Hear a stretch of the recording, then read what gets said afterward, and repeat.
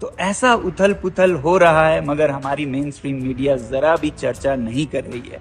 मेरी आपसे विनती है कि आप एक मीडिया बने और इन वीडियोस को शेयर करें और कहें इन हमारे भारत के मीडिया चैनल से, जो कि चौथी स्तंभ है पिलर हैं डेमोक्रेसी के, कि वो अपना फ़र्ज़ निभाएँ। मुझे नहीं समझ आता है वो रात को कैसे सोते होंगे, इस तरह के दोगलापंथी में।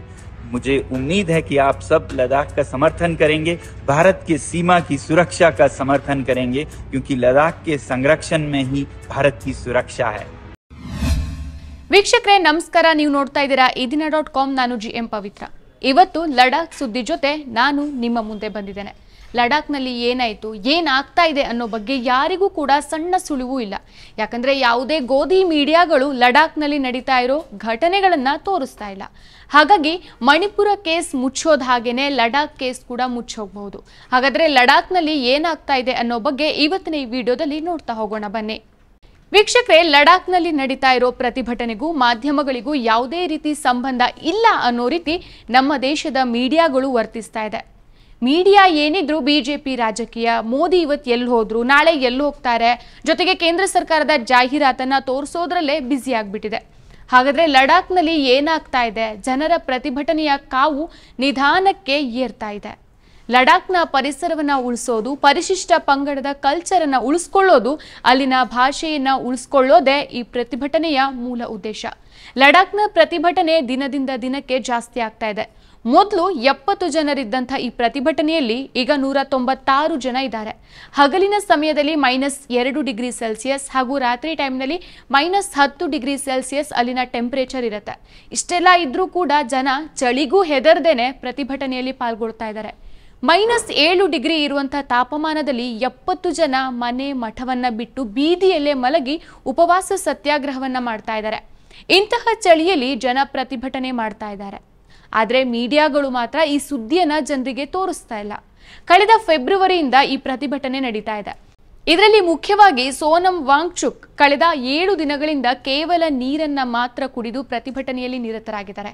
ಅವರ ಆರೋಗ್ಯ ಯಾವಾಗ ಬೇಕಿದ್ರೂ ಹದಗೆಡಬಹುದು.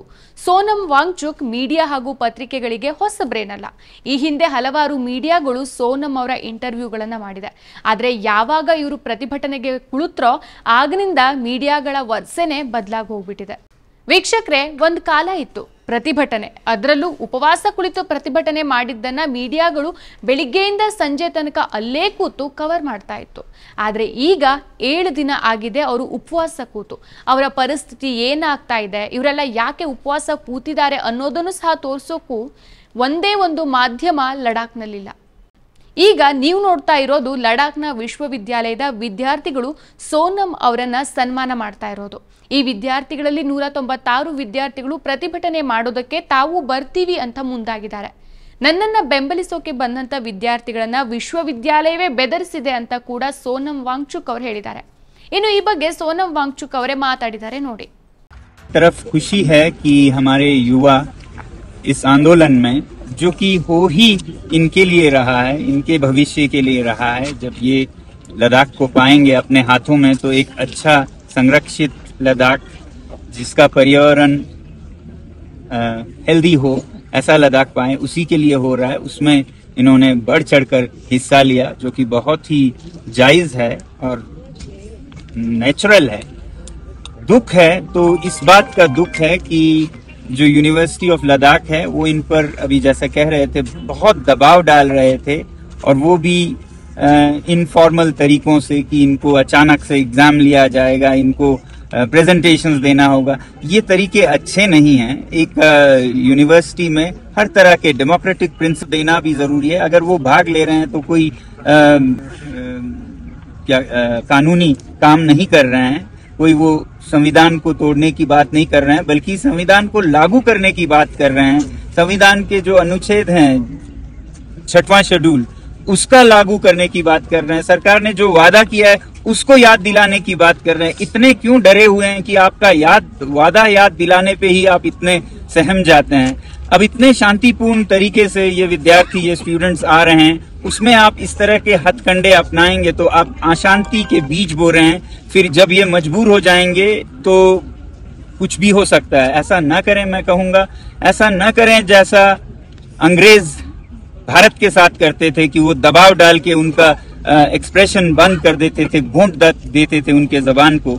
ऐसा ना करें जो चीन तिब्बत में कर रहा है या पाकिस्तान बांग्लादेश में करता था, आज़ाद होने से पहले। तो ये तरीके कभी कामयाब नहीं होते हैं, बल्कि इससे और शक्ति मिलती है विद्रोह की लोगों में। तो हम चाहते हैं शांति से, बातचीत से, भाईचारे से, प्यार से सरकार के साथ बात हो, और इस तरह सुलझाया जाए कि बाद में हमें पछताना ना पड़े कि रिश्ते टूट गए। रहीम कहते हैं, रहीमन दागा प्रेम का ना तोड़ो पिचकाए टूटे फिर ना जुड़े जुड़े गांठ पड़ जाए।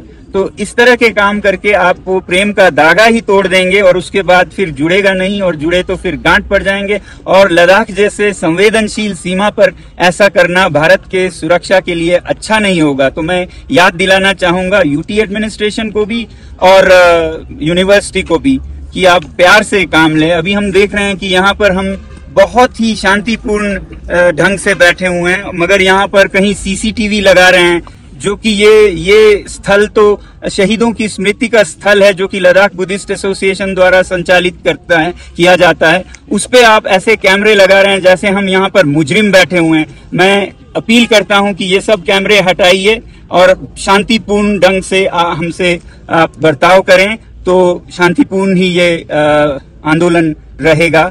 ವೀಕ್ಷಕರೇ, ಈ ವಿಡಿಯೋ ಮಾರ್ಚ್ ಆರರಂದು ಸೋನಂ ವಾಂಗ್ಚುಕ್ ಅವರು ಮಾತಾಡಿರುವಂಥದ್ದು.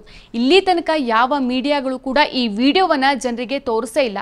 ಸಪೋಸ್ ಮೋದಿ ಏನಾದ್ರೂ ಅದೇ ಲಡಾಖ್ಗೆ ಬಂದಿದ್ರೆ, ಇದೇ ಗೋಧಿ ಮೀಡಿಯಾಗಳು ಹಗಲು ರಾತ್ರಿ ಅಂತಾನು ನೋಡದೆ ಮೋದಿ ವಿಡಿಯೋಗಳನ್ನ ಶೇರ್ ಮಾಡ್ತಾ ಇತ್ತು.